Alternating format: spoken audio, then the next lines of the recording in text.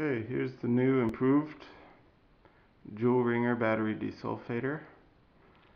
As you can see, I've added TV wire high voltage windings around the toroid. And I've created this high speed, high voltage diode bridge. It's 40 transistors hooked up for this.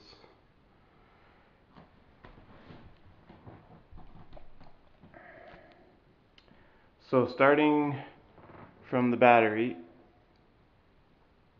it comes down to the circuit.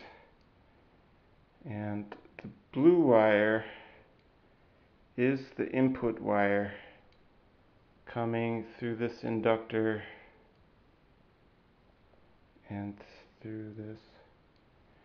And the brown wire is the feedback wire which is connected to the gate of the transistor. On the gate of the transistor we've got a Zener diode, capacitor, and this potentiometer resistor to regulate the speed of the pulses. And as it comes out, it goes through this diode bridge, positive coming to my battery negative and this is what the pulses look like.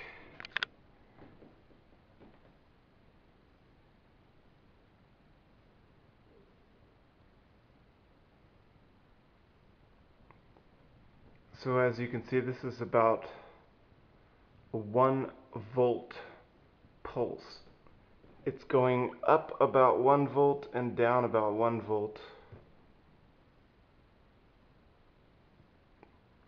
So that's some pretty strong pulses above and beyond the 12 volts that's already in the battery.